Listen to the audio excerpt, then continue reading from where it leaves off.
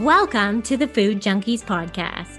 Here, we aim to provide you with the experience, strength, and hope of professionals actively working on the front lines in the field of food addiction. The purpose of our show is to educate you, the listener, and increase overall awareness about food addiction as a disease with abstinence as the solution. Here, we talk about all things recovery. Most importantly, how to thrive rather than just survive. So stay positive, make a change for yourself, tell others about your change, and hopefully the message will spread. Anna Lembke is Medical Director of Stanford Addiction Medicine, Program Director for the Stanford Addiction Medicine Fellowship, and Chief of the Stanford Addiction Medicine Dual Diagnosis Clinic. A clinician scholar, she is a professor of psychiatry at Stanford and has published more than 100 peer reviewed papers, book chapters, and commentaries.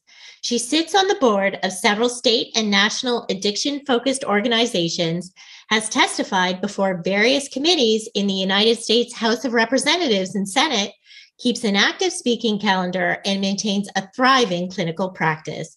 She is a well sought after speaker on the subject of addiction. In 2016, she published Drug Dealer MD How Doctors Were Duped, Patients Got Hooked, and Why It's So Hard to Stop, which was highlighted in the New York Times as one of the top five books to read to understand the opioid epidemic. Dr. Lembke recently also appeared on the Netflix documentary The Social Dilemma, an unvarnished look at the impact of social media on our lives. Her book, Dopamine Nation Finding Balance in the Age of Indulgence, was released last month, and it explores how to moderate compulsive overconsumption in a world where feeling good is the highest good. Today, we talk to Anna about food addiction. She not only believes in food addiction, she feels that in our modern day, scientifically hijacked, excessively accessible, potent food world, that it's likely everyone has a disordered relationship with eating and food. How could we not? She believes these foods are drugs, and she validated the withdrawal and detox that comes with removing these foods and choosing to abstain from them when we start to seek food addiction recovery.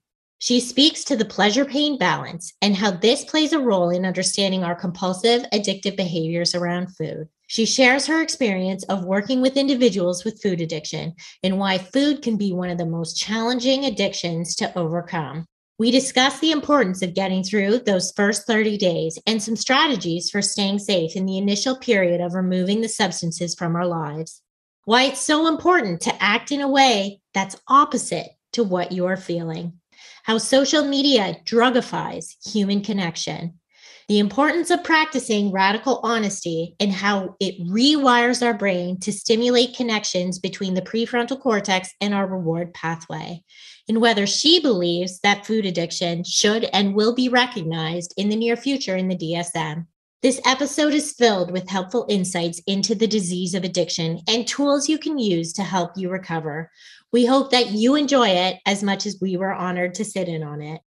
We are so excited today to have Anna Lembke on the podcast, author of Dopamine Nation.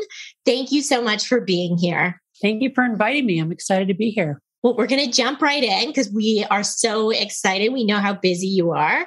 So, in your new book, Dopamine Nation, you explore the interconnection of pleasure and pain. And can you tell us how this helps explain addictive behaviors, not just to drugs and alcohol, but to food? And maybe can you talk about the pleasure, pain, balance, and for the benefit of our audience, tie it to food addiction? Sure. So, I think one of the most significant findings in neuroscience in the past 75 years or so is the discovery that pain and pleasure are co located. And what that means is that the same parts of the brain that process pleasure also process pain and that they work like opposite sides of a balance. So, for example, if I eat a cookie, I get a little tip of my balance to the side of pleasure. What's happening in my brain is that in a part of the brain called the reward pathway, which is a sort of lower brain regions, the oldest parts of our brain, and the part that's been conserved over millions of years and across species, and it's called the reward pathway. I get a little release of a chemical called dopamine in that reward pathway. And dopamine is a neurotransmitter, and it's the thing that is reinforcing and makes me feel good and pay attention to that thing. But one of the overarching rules governing this pleasure pain balance is that it wants to stay level. It doesn't want to be tipped for very long to the side of pleasure or the side of pain.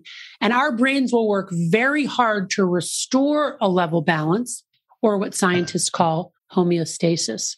So what happens is no sooner have I eaten that chocolate chip cookie and gotten that little release of dopamine, then my own brain reacts by down regulating my dopamine receptors and down regulating my own dopamine transmission in order to bring that balance level again. And I imagine that personally as these little gremlins hopping on the pain side of the balance. They like it on the balance though. So they don't get off right when the balance is level. They stay until it's tipped an equal and opposite amount to the side of pain. And this is called the opponent process reaction. And it's the way that the brain restores a level balance. It tips it to the other side. And then the, after a little bit, the gremlins hop off and balance is restored. So that tipping to the other side, that's that moment of wanting to eat another cookie, right? That's that, oh, that was really good. And I'd love to have another one kind of a feeling, right? But if I wait long enough, that feeling passes, the gremlins hop off and balance is restored. Here's the thing though, we all have our different drugs of choice. And for people with food addiction, when they eat that chocolate chip cookie, they don't just get a little tip to the side of pleasure. They get a great big tip to the side of pleasure. It is very, very reinforcing for them. And that's biological and innate. That means they need a great big gremlin to hop on the pain side of the balance to bring it level again. And then they get a great big tip to the side of pain so that means right after they ate that cookie, the physiologic need really to eat another cookie is incredibly strong, right? And very hard to resist. Now, if they do resist it, that great big Arnold Schwarzenegger gremlin hops off, balance is restored. But here's the key thing with repeated exposure to the same or a similar drug, that initial effect of pleasure gets weaker and shorter in duration, and the after effect gets stronger and longer. Another way to think about that is that the balance remembers. So you end up with a whole bunch of gremlins then hop on the second time you eat that cookie. So you get it's good the second time, but it's not as good. And the craving, the come down is stronger. So then you want more of the cookie. And over days to weeks and months, what do you essentially end up with is a whole bunch of gremlins camped out on the pain side of the balance so that when you're not eating cookies, you're really restless, unhappy, irritable, and you need to keep eating cookies just to reassert homeostasis. Sorry, that was kind of long, but that, okay, that no, was absolutely. sort of the summary. No, and that's you explain it so beautifully and and many of our audience members need it broken down in that that way. And so no, I think you do a really great job of teaching me new ways to be able to teach others, but also I know our audience will benefit from it. You know, and as you were describing talking about like eating that cookie and like that dopamine the pleasure pain balance i think about for me it's like i'm not even like through chewing the first bite of the first cookie and i already know i'm going to mm-hmm. have another one at least right mm-hmm. and to know that that's just like how advanced that is for right. me that arnold schwarzenegger's like you said right right. Like you're, you're like it just hooks you right in and you're like you're at the mercy. No that's right. That's exactly right. Mm, there. And yeah. and, and one ahead. thing i was just going to say and you know and the other thing about the balance is that the balance remembers and the gremlins remember. So what i hear from my patients with food addiction let's say they abstain from cookies and the gremlins hop off and they're back in homeostasis and then they go to work and in the break room they see a cookie so this is really fascinating. But what neuroscience has shown is that when we see a trigger that reminds us of our drug of choice, that reminder alone releases a little bit of dopamine in the reward pathway. So we get a little bit of tip to the pleasure side. But no sooner has that happened than we get a great big gremlin on the pain side, slams us down, and then we experience craving. So I've had people with food addiction say they'll just see the cookie and it'll be like they'll start sweating. It's like this intense and it's overwhelming. And then they feel like the only thing that I can do right now to feel better is to eat that cookie. And the cookie really becomes synonymous with like survival because, of course, that pleasure pain balance has evolved over millions of years to help us survive in a world of scarcity and ever present danger, not in a world filled with chocolate chip cookies. Yeah, absolutely. I know I like imagine like fiending for the cookie, right? Like right. having worked with other substance use users, you know, just like that. I can equate it to like fiending for sure. So you mentioned several times in the book and in other interviews that I've listened to, you know, that one of the biggest risk factors for developing this disease of addiction is the ease of access. Right. And we work primarily with clients who are that middle to late stage sugar processed food addiction status. And we believe sugar and processed foods are, are probably some of the easiest substance to access. You know, do you find that to be true? Also, have you ever explored the role of the access of that substance with other patients that you've treated with addiction? Yeah. So, I mean, to me, food is clearly addictive, and food addiction is absolutely real. There's no question to me at all. We have engineered modern food to be addictive salt, sugar, fat, combining different flavors to make a more potent third flavor. Never in the history of humans have you been able to eat French toast ice cream until now, right? So it's very clear that it's a drug. But with all drugs, again, there's intra individual variability. So for some people, their drug is cocaine. For other people, it's romance novels, you know. For other people, it's going to be food. But food is, I think, especially challenging because, you know, like with romance novels, that's my addiction. I talk about it in the book. You know, I could just put them away and I can go on with my life. But we can't just put food away, right? We have to eat to survive.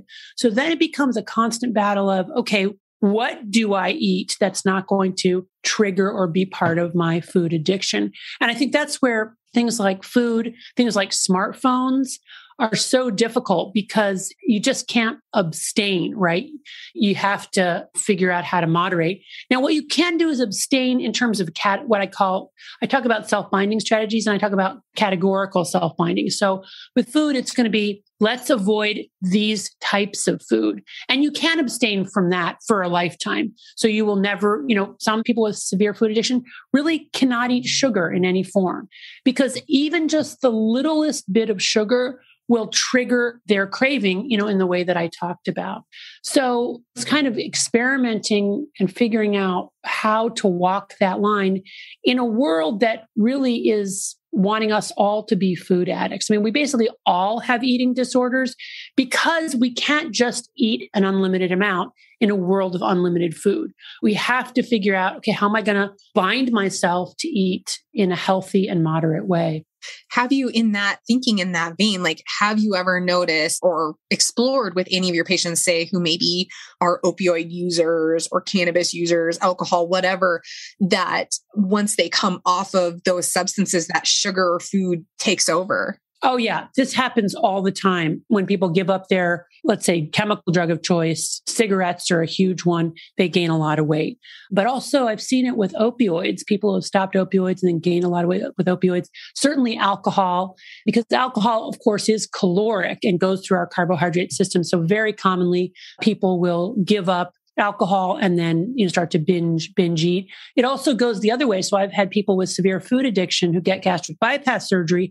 One fourth of those individuals will develop an alcohol addiction, right? Because now they can't use food and they've still got the carbohydrate craving. Plus, the way that the gut is rerouted means that they can absorb alcohol very quickly, and that makes it more potent. And potency also contributes to addictive potential. Yeah, that's it's just we have experienced a lot of the same things. Eh, and in our clients who've had the gastric sleeve or the gastric bypass, that food just is it's not physically possible to consume right. anymore. So alcohol still is going to get me that fix and and my stomach is small enough to just be able to consume it. So right. that's definitely right. a truth for sure. So we're talking about dopamine and the dopamine effect of food. And in your book, you kind of scale out, they explored it in rats, the dopamine response from the tonic I think you call it tonic baseline dopamine. And you say chocolate is 55%, sex 100%, uh, nicotine 150, amphetamines 1000. And I'm wondering, do you think this is an adequate representation of what happens in humans as well? And also, now that we know, thanks Michael Moss for exposing the food scientists in the research labs who are basically trying trying to create food where bet you can't eat just one, these highly palatable, hyper processed, like high fructose, which we know is linked right. to the dopamine response. Do you think that's a like a similar dopamine response to chocolate of 55%? Would you have any like guesstimation on what that might be and how that might mm-hmm. right yeah so first of all just getting back to that experiment it was done in rats right they stuck a probe in a rat's brain and then they exposed the rats to different rewarding stimuli to look at how much dopamine increased in response to that rewarding stimuli from its baseline firing, because we're all firing dopamine at a constant baseline. And then that's what they came up with, those different variables. But for a couple things there, first of all, food like just regular rat food might just increase 100 units above baseline dopamine, but a cheeseburger for a human, it might be much more than that. And then you need to superimpose that again, this very important inter individual variability. So what might elevate your baseline dopamine levels might not elevate mine and vice versa. That we all kind of, it's sort of a little bit of a lock and key phenomenon. You know, we all kind of come to this with slightly different wiring, but universal wiring when it comes to the fact that anything that's reinforcing ultimately will release dopamine in the reward pathway. So, for example, the effect that amphetamines goes up to a thousand has a little bit more to do with the way that amphetamine works in the brain than that amphetamine is necessarily more addictive than nicotine or than cocaine. So there's some artificiality to that elevated aspect of it. But the point really is just that a wide variety of reinforcing substances all work on the same pathway and all ultimately are mediated by this neurotransmitter dopamine. And we don't really have data, as far as I know, like looking at specific people and their specific drug, because we're not strict sticking probes like that in people's brains. We do have imaging studies, but I don't know if they're at the level of sensitivity to say how much dopamine activity is happening. What we can say for sure is that dopamine activity is happening in the reward pathway of the brain when humans are engaging in certain activities. Yes. And that makes so much sense, you know, that it would be so bio individual. So often that's exactly how we have to educate our clients is yeah. they want us to give them answers, right? right? They want to know, okay, if this is what's wrong with me, what do I do next? And often our answer is it's so bio individual. Let's just meet you where you are. Let's yeah. figure out what yeah. do we need to detox from, whatever the next steps right. are. And, and that makes sense as to why, like you said, like that thousand percent, like that number is a little for amphetamine. It's a big, scary number, but that could mean something completely different because of how it acts in our brain versus the that's right the food. Mm-hmm. That's yeah. right. Yeah. Yeah. And, so, I, and I love that you use the word detox because I think that's really important. And people don't necessarily think of it like that with food, you know, that, oh, like, well, you might have to detox off of drugs, but you don't detox off of food. But certain types of food are absolutely a drug and you do need to detox of them and you will have withdrawal. I mean, that, that I think is what by educating our patients and our clients about the neuroscience and how and why withdrawal happens, I think it just makes it easier to tolerate it, right? Because it's like this, the way I'm feeling right now as I'm acutely detoxing is not the way I'm always going to feel, right? This is time limited. If I can just get through this detox, I will restart to regenerate my own dopamine, my own dopamine transmission. I'll start to take pleasure in other things outside of this food category that I'm very focused on. So I think that's the promise and the hope. Yeah, absolutely. And I think that was one of my favorite things about reading your book is for years I've always told clients like let's just get through 30 days before we right. even dive into like what the next steps are because right you're not even going to be normal for 30 days. Right.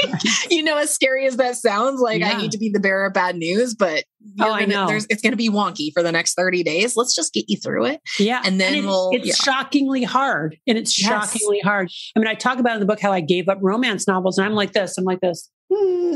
Yeah, I mean, it was like do? really Twiddling your thumbs. Yeah. yeah, it's really, really hard, and I myself was shocked at how hard it was. Yeah, absolutely. Okay, so thinking about that and knowing again, like right, like we're wired to eat, and there we've heard like you're wired to double your dopamine reward system already doubles down on things like food and sex for procreation of the species, right.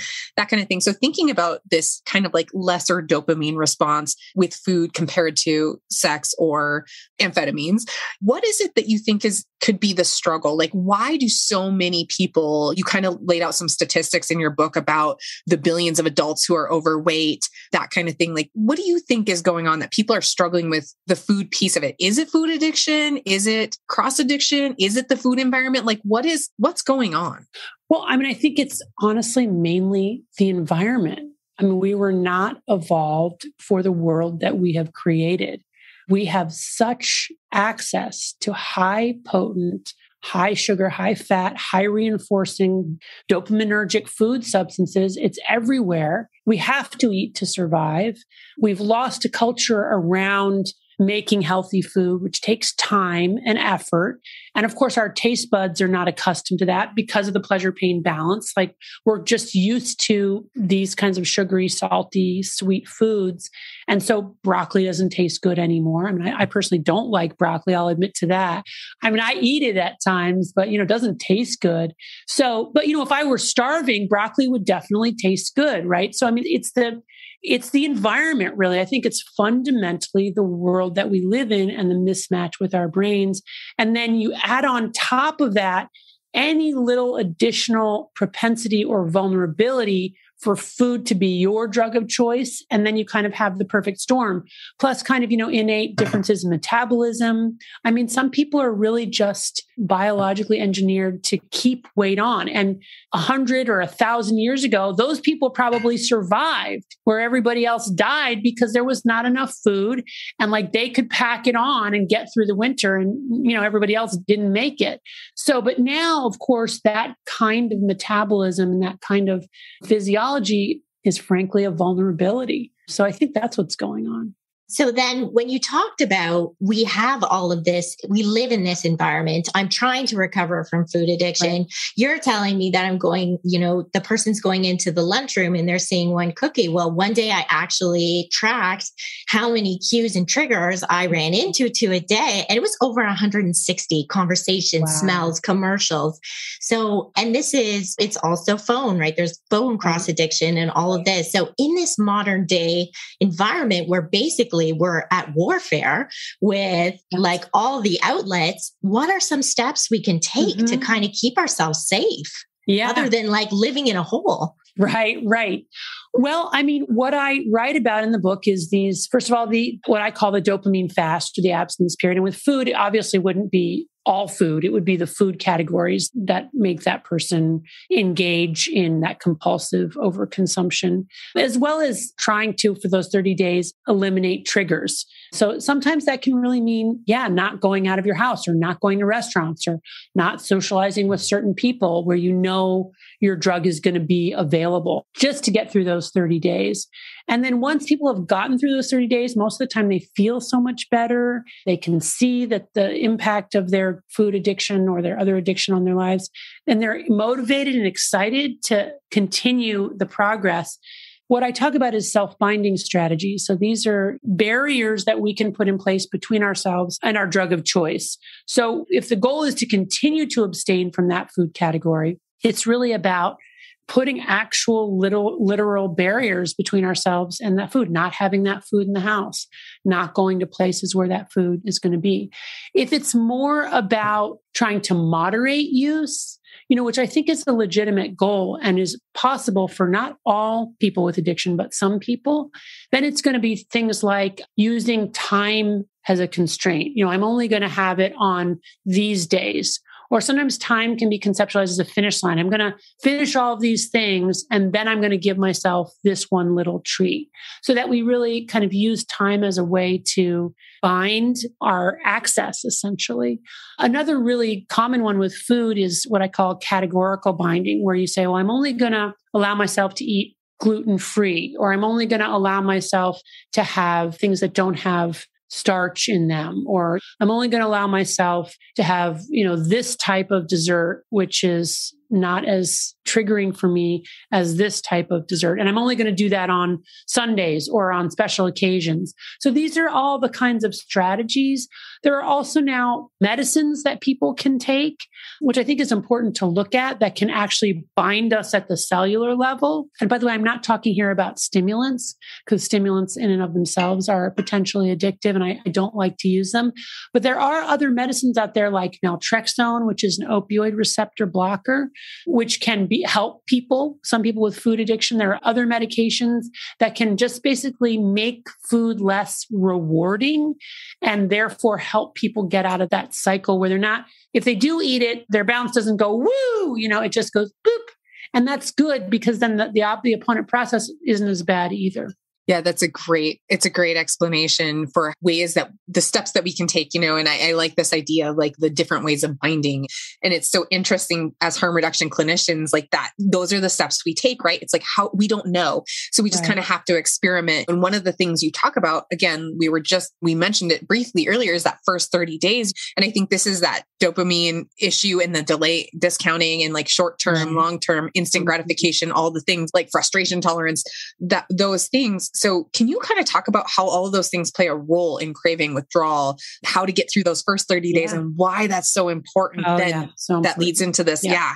Yeah. So, getting back to the pleasure pain balance, right? With repeated use or repeated ingestion, essentially, of cookies, cakes, ice cream, we've now ended up with hundreds of gremlins on the pain side of our balance. So, when we stop ingesting that substance, what happens? We slam down to the side of pain we're in a dopamine deficit state. We're experiencing intense cravings.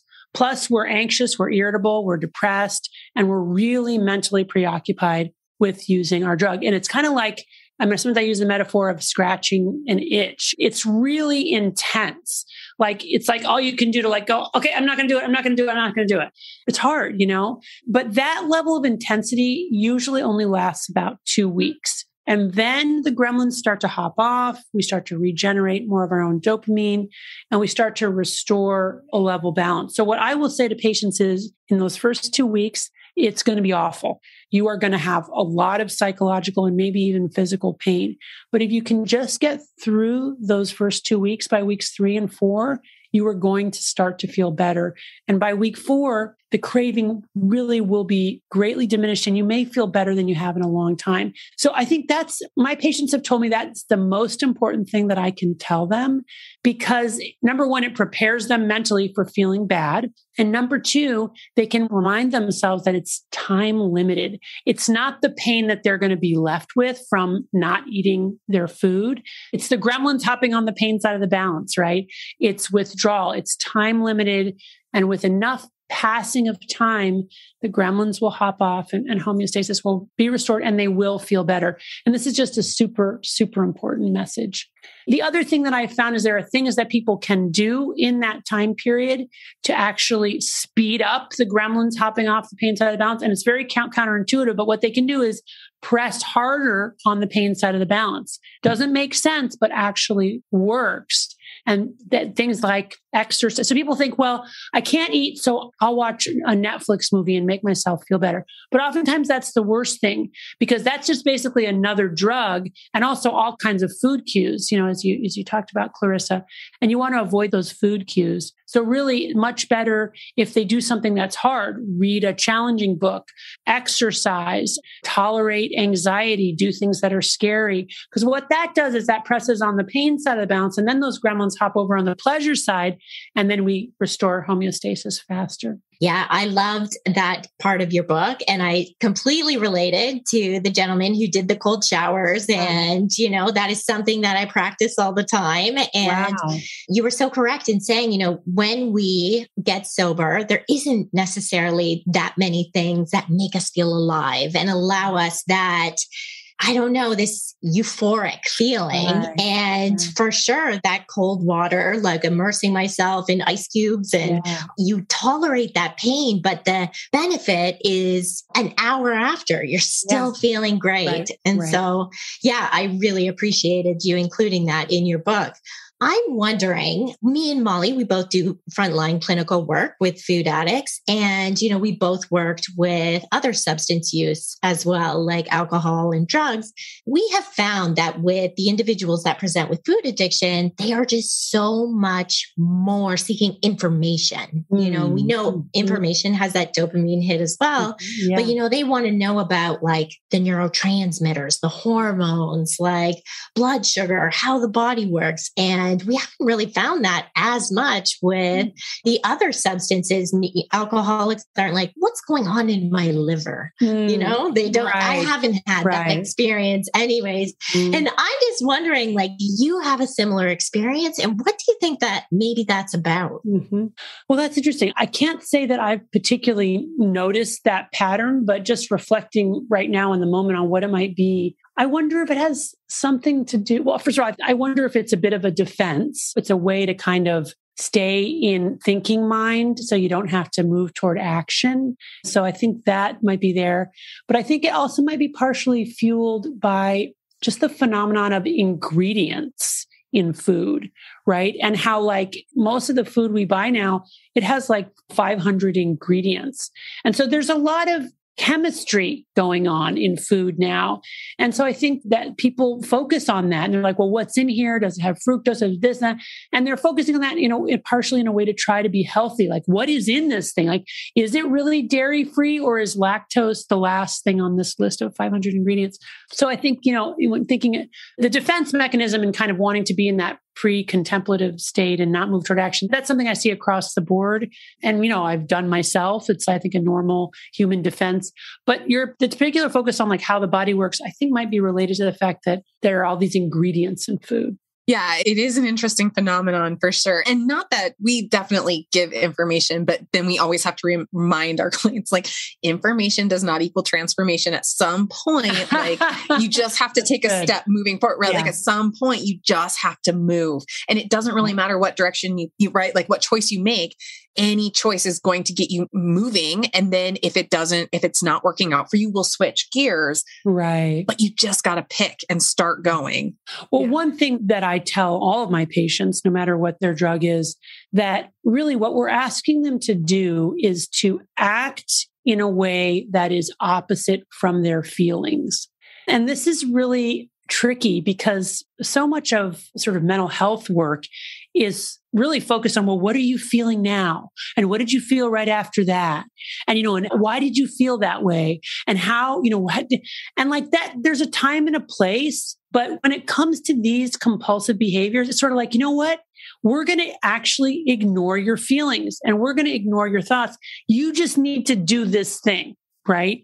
And in fact, all those kind of thoughts and feelings and rationalizations that are inevitably going to pop up telling you why doing that thing doesn't make any sense, you're going to ignore that. You are going to totally put that on the back burner and you're going to do the thing, even though you don't feel like it, even though you're going to come up with all kinds of reasons why you shouldn't do the thing. That's, I think, the work, you know, that we're doing here. Yeah, we have a mentor, Bitten Jonsson, out of Sweden, and she calls that red dog. And I always call it the toddler in my head. I have very young children. And so it wasn't all that long ago that they were toddlers. And I can just see that voice like, I don't want to. Blah, blah. Yeah. And it's like, okay, I get that you don't want to, but we're going to do it anyway. Right. Yeah, so like right. you can throw the, you can throw the fit in the aisle at the right. store because I'm not going to buy you the thing, yeah. but I'm going to walk over here. I can still see you, but I'm going to keep doing what I need to do because it has to be done. Right. And that's really what we work on. It's a great explanation for what we talk about. So not just, I mean, like we know dopamine isn't the only neurotransmitter involved in this process. And we know you wrote the book on dopamine for sure, but Clarissa and I are both self-admitted volume addicts. Not only, you know, is the food a piece of it or the sugar processed foods, but also this volume idea. And we, so we're personally interested in like oxytocin and serotonin because we know mm. those often play a role in that volume piece. Mm-hmm. And in mm-hmm. your book, you touch on that about like intimacy being a source of dopamine with the oxytocin and that kind of thing. Will you tell us more about the interconnectedness of these neurotransmitters and why that's an important finding? Because I know it, it was fairly recent Right. Yeah. Yeah. So this is the work of my colleague, Rob Malenka and his team. Uh, he's a wonderful neuroscientist here at Stanford. And what they found, which I think is very intuitive and makes sense, but no one had actually shown it in the laboratory before, that oxytocin, which is a what's been called the love hormone. It's it's released, you know, in nursing, in pair mating and bonding. It's very important to you know that feeling of connectivity and human relationships. And when oxytocin uh, is released, it binds to neurons in the brain's reward pathway that release dopamine and it causes more dopamine to be released. So basically what that tells us, which is no surprise, but it's very nice to have it validated, is that the experience of connection to other human beings is intrinsically rewarding it releases dopamine. We feel good when we make those connections. And that can be used for good and bad, right? So connecting with other humans in the right kind of way is a great way to get your dopamine. But of course, we know that, for example, social media is a way to drugify human connection, to take the most rewarding aspect of it, reduce the complexity and effort that normally goes into making human connections and to just basically make it more and more potent, easier to get, easier access, and turn it into a drug where people are then constantly chasing the next lightning connection without creating those deeper connections. Yeah, so that may make a lot of sense for as well when you talk about people connecting in those 12 step groups, right? Or with the individuals who are recovering from the same disease. And, you know, that pro, I think you call it pro social shame, yeah. where they get to, it, they're embraced, it's non judgment. Right. And it's like, I feel it's almost like you're in my head. You're saying all the things I'm thinking. Yeah. And of course, I've experienced that. And there is no quite I don't think there's a feeling like it really that I can mm-hmm. describe when you feel so finally understood and yeah. seen in yeah. a world where you've been so alone your whole yeah, life. That's right. And another part of the 12 step program that I love is that radical honesty piece. And you really talk about the neuroscience of that. Can you speak a mm. little bit more about that and why this radical honesty piece is so hard? After I read your book, I went through a whole day and I was like, I'm not going to lie about anything. My brain wanted to lie oh, all the the time. like I, was like, liar, liar, pants on fire. Yeah, That's right. just it. And it's yeah. hard. Yeah, it's, it's really so hard. hard. Yeah. Yeah. Thank you for bringing that up because one of the things that's been fascinating to me in working with this population and, you know, really just having the privilege of watching people get into recovery is how important truth telling is to their recovery. So I became really fascinated, like, well, why would that be? And basically in the book, I sort of end up outlining all the different reasons why telling the truth is so important. Right up there is just the simple fact that the stories that we tell about our lives are not just a way to organize past experience. They also become the ways that we they come to predict future actions. So when we're telling stories about, you know, being the victim and it's everybody else's fault, we actually have repeated experiences of being the victim. Whereas if we take responsibility, acknowledge the ways in which we have been victimized, but also take responsibility for our part it really gives us self efficacy and empowers us to have more self efficacy going forward. It also we can no longer then hide in that place of denial where one part of our brain is doing one thing and another part of our brain is saying, well, I didn't do that or I'm not doing that. Because when we have to tell another human being what we really did, like you would eh, with a therapist or an AA meeting or a close friend, it really makes it real. Like I really did eat the whole package of cookies, right? I really did eat the whole gallon of ice cream. I can only tell myself that it was only a half gallon, right? Or only, it was only 10 cookies. It's like, no, it was actually the whole package, right? And somehow when we say it, it's like, oh, it becomes real in a way that's otherwise not there. The other piece of it is that, as we talked about, that kind of intimacy when we're connecting with our real selves and with other people and we're letting them see us and they don't shun us or reject us, that is a powerful and important source of dopamine.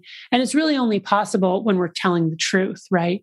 When we're being our real selves and connecting on that real level so that's what happens in therapy. Again, what happens in a good recovery meeting. And that's also incredibly de-shaming, which is so important for moving forward in our behaviors and in our addictions. The other aspect of it is that one of the things that we speculate happens in the brain as people become addicted is that the communication between the prefrontal cortex, which is our gray matter right behind the forehead, and our reward pathway, which is in this lower brain region, kind of gets disconnected where we're no longer really able to see what our pleasure pain balance is doing. So telling the truth becomes a way to, in fact, invigorate or stimulate the frontal, the prefrontal cortex and improve those connections between the prefrontal cortex and our reward pathways, which is really, really important. And which is why this exercise of going, trying to go through a whole day without telling the truth. It's very effortful because we're all reflexive liars, you know, in small ways, like, you know, well, why I was late or why I didn't do this or just little white lies to make us ourselves look a little bit better. Some of them don't really make sense. Like we think that they're important to make ourselves look better, but really it's just a slightly different from reality. It's very fascinating. But when we avoid telling those lies, it's effortful and it really stimulates that prefrontal cortex and I believe stimulates those connections between the prefrontal cortex and the reward pathway, which is so key for being able to see what's happening in our reward pathway and be able to manage this pleasure pain balance. And another colleague of mine, another neuroscientist, Edie Sullivan, she's actually looked at the brain and what happens in recovery. So what is going on in recovery? And she has found that there are, you know, with addiction, parts of the brain that are probably permanently scarred or damaged from addiction, which explains why even after sustained periods of abstinence, people can have these horrible relapses. There's probably some kind of permanent, irreversible damage. On the other hand, what's very hopeful and exciting is that she finds that the brain can recover not necessarily by repairing those parts, but by routing around them and creating new neural networks that go around them. And that's very exciting. And of course, so much of that is about storytelling and how we verbalize our and narrate our experience. And which is why telling the truth and really trying to find the truth, what is really real and true about my life and my behavior is really important to recovery. Yeah, that makes me think of a couple things. I had read somewhere along the line that, you know, and I don't know if this was Paul Earley's work or somewhere I read this though, that the thing happens, like we do the action or event happens, and then our brain writes the story. That's like, right. To, right. Yeah. And so that would make sense. Mm-hmm. That piece of it, like, what's up with the lying? But it's like, right. is it lying or is it just that's the narrative? Because yeah, because it keeps us safe or whatever, right? Like there's right. some reason behind it. But then the other thing that really comes up for me as you're talking about that is that Brene Brown's work with shame and like stepping into the arena, the vulnerability, yeah, the vulnerability right. and that just that laying ourselves completely open on the table right. to just say like, okay, this is where I'm at. And I really want to tell you this is the thing that happened when really clearly this is the thing that happened. Right, and, right. Mm-hmm. And the healing that comes from that. And that makes yeah. sense. You know, what you're saying now. And like, that's one of the ways that we have to rewire the brain or reroute yeah, the brain right. is just doing something completely different than what we were feeling. Yeah, yeah, yeah. That's right. you know, that's right. Like, it's like, oh, it's all coming together. Everybody. Right, right. Here Good. we go. That's great. Here we go. Yeah. So switching gears just a little bit, Clarissa and I both sit on the board of the Food Addiction Institute. And this past year, we submitted to the World Health Organization for the newest edition of the ICD. And they're in the works of submitting to the APA for the DSM them in hopes that we can somehow get a legitimate diagnosis for food addiction. And of course, there's all kinds of like disagreement as to like what it should be called and, and that kind of thing. But you've talked about you agree that this is a thing. And what do you think? Is this something that's possible? Is this something that we could see mm-hmm. in our mm-hmm. lifetime that this could be an actual recognized thing where people could get help? Yeah. So here's my thinking about the Diagnostic and Statistical Manual or about the ICD 9. This is basically just pattern recognition, right? We don't have a blood test or a brain scan for any mental illness, whether it's addiction, food addiction, schizophrenia, depression. We don't have a test for that based on blood or brain scan or, or biopsy or any of that. So what do we base it on? We base it on phenomenology. Phenomenology just means patterns of behavior that we see repeated across people from all different demographic groups, across cultures, across time periods.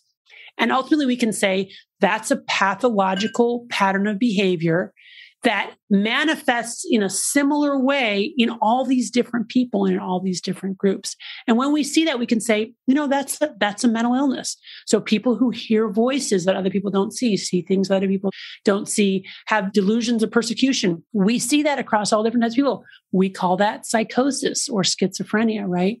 When I see people with food addiction, it looks exactly the same as people with cannabis addiction, alcohol addiction, opioid addiction, video game addiction. It's the same phenomenology. People start out using to have fun or to solve a problem.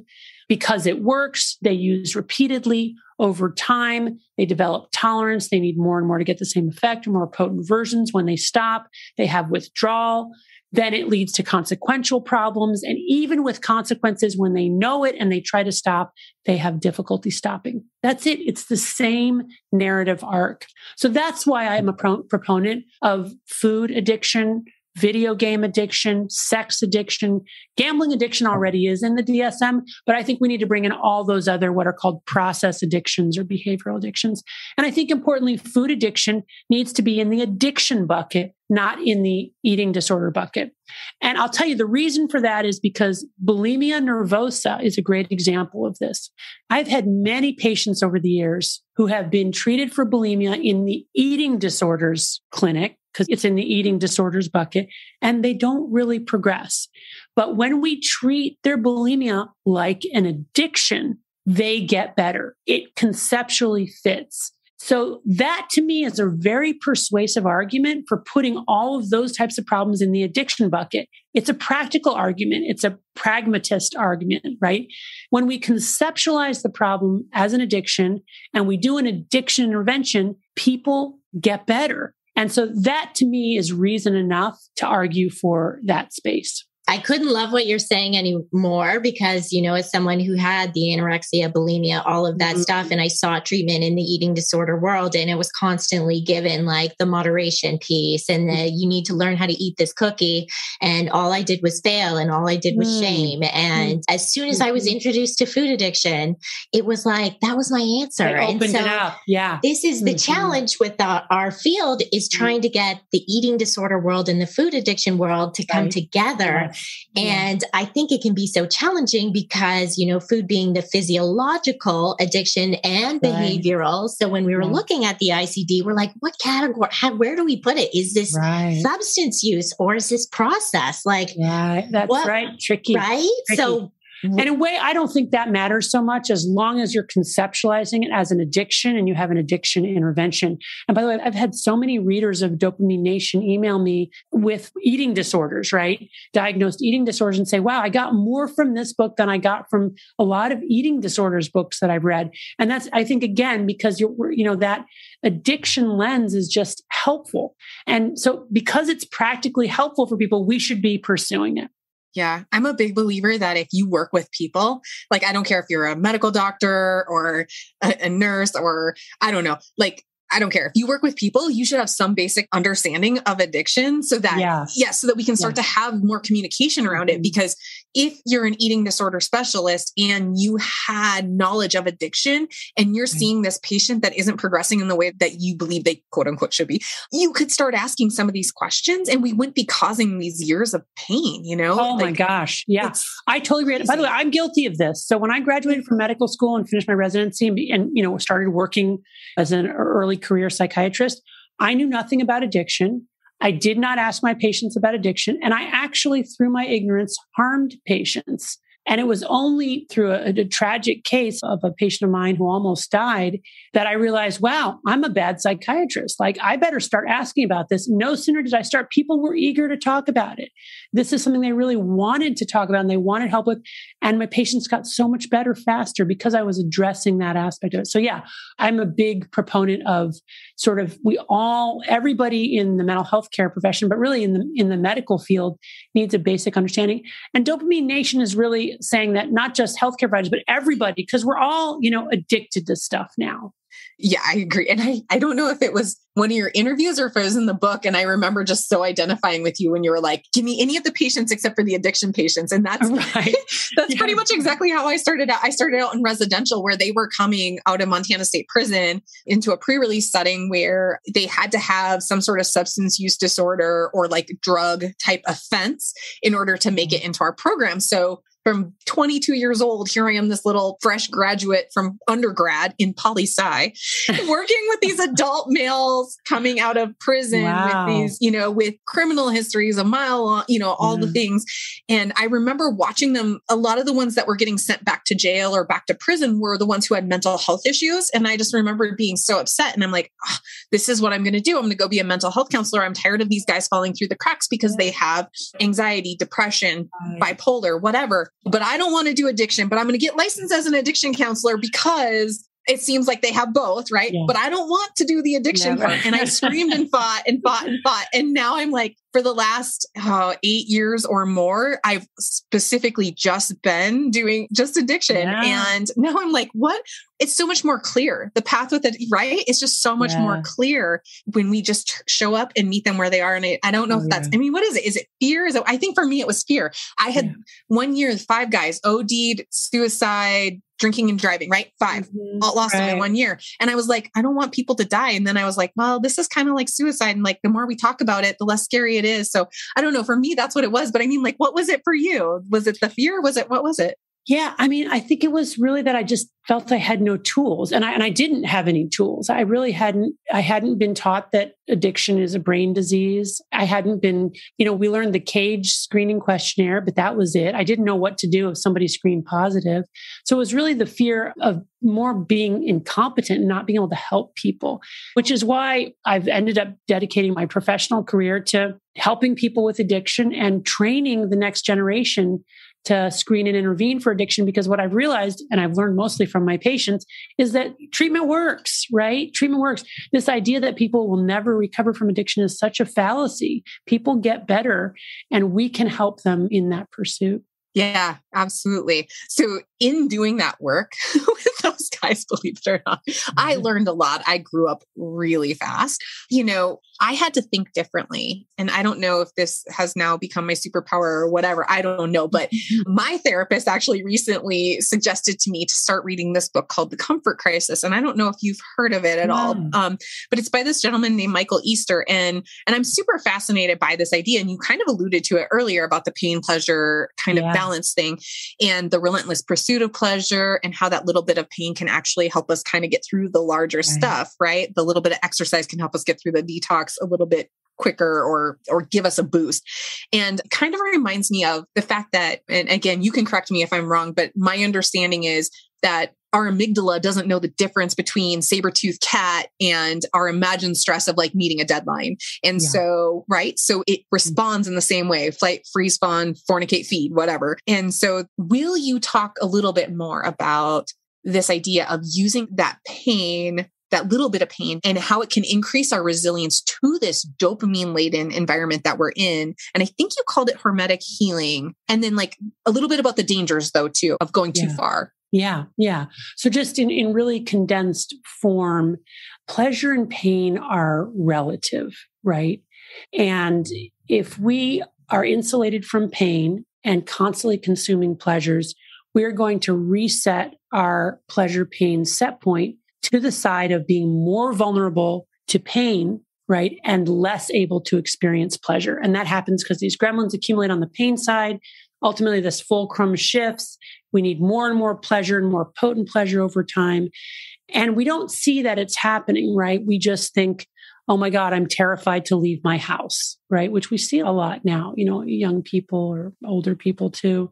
And so we're constantly trying to find more pleasure and more ways to not feel pain in order to solve this problem. And that's exactly the wrong thing to do. What we need to do is in mild to moderate doses, actually press on the pain side of our balance, do things that are hard physically and emotionally and what that will do is kickstart our own endogenous opioid, endo opioid, endocannabinoid, dopaminergic systems to start to compensate for that adrenaline, that fear, that physical discomfort, that emotional discomfort by upregulating our own dopamine, our own opioids, our own cannabinoids. This is again visualized as gremlins now hopping on the pleasure side of the balance to, you know, bring it level again, but then tip, tipping over there.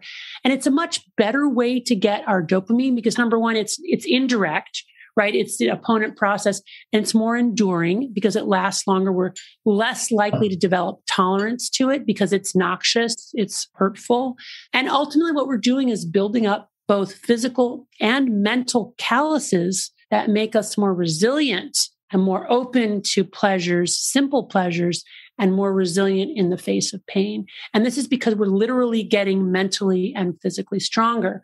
Hormesis is the science behind it. It comes from the Greek word to set in motion, which I really love because it's this idea is like we're setting our own physiology in motion to be able to feel better and be more resilient in the face of hard things.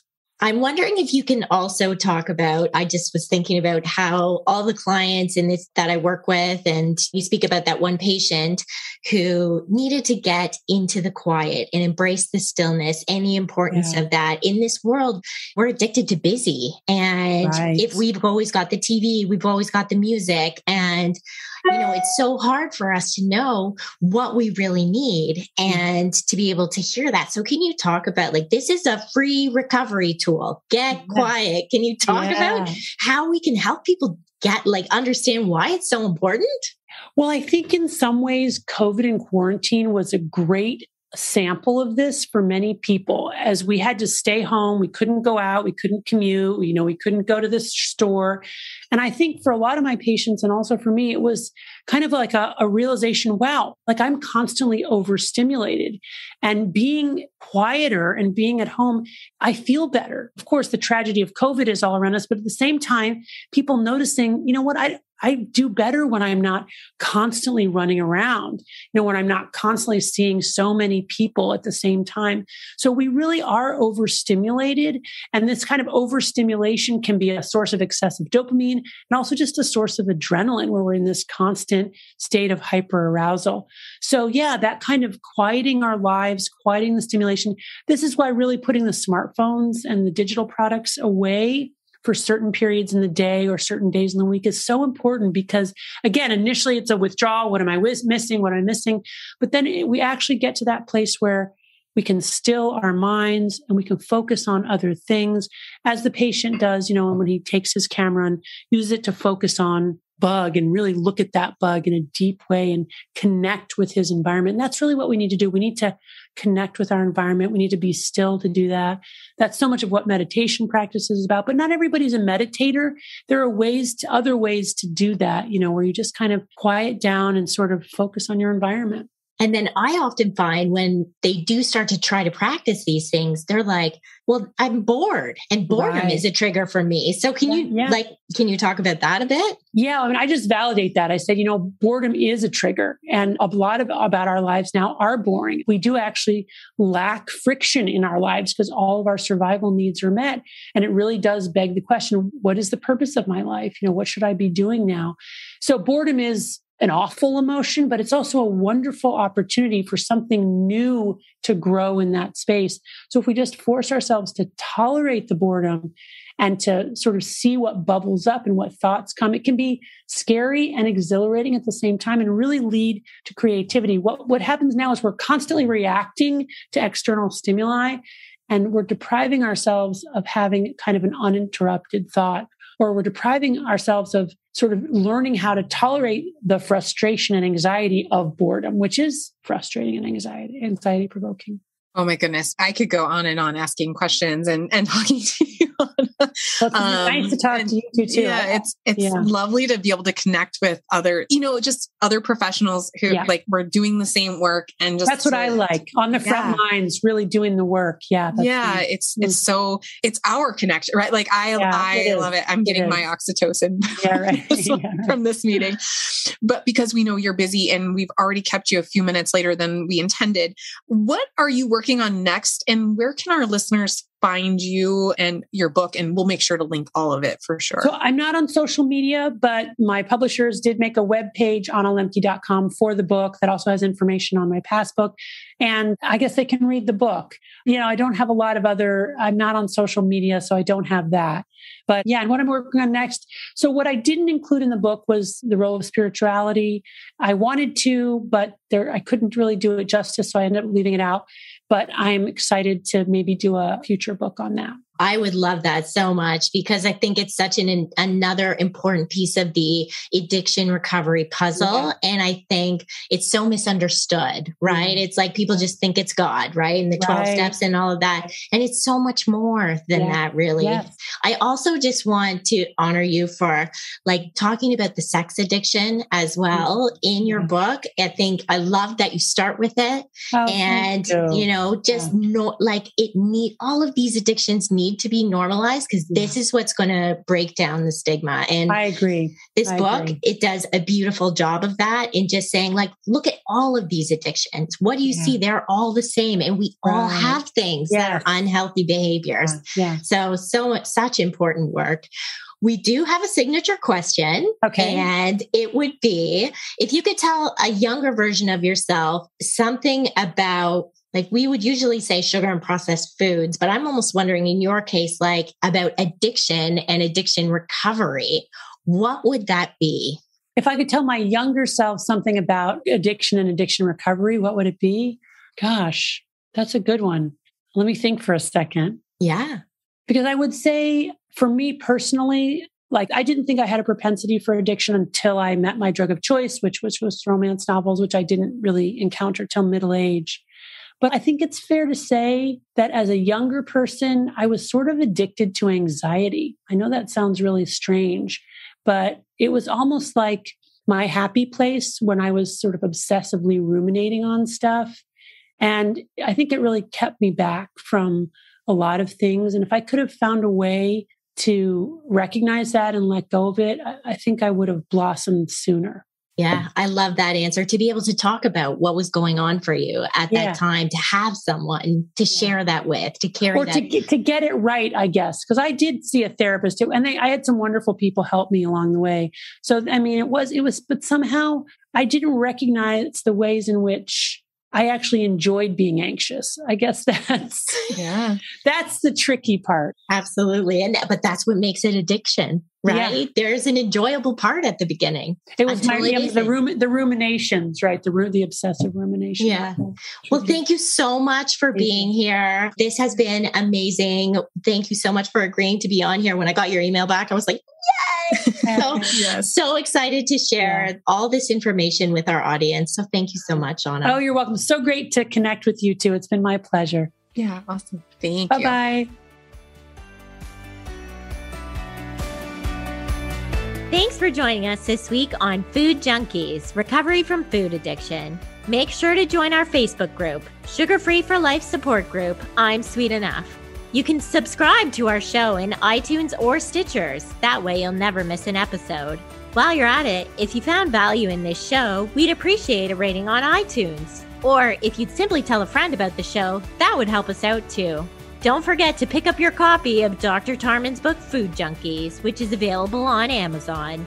If you have any additional questions, both Molly and Clarissa are food addiction professionals and work one on one with clients. You can find their websites and email addresses in the show notes. Be sure to tune in every Friday when our new episodes drop. As Vera loves to say, the power is ours.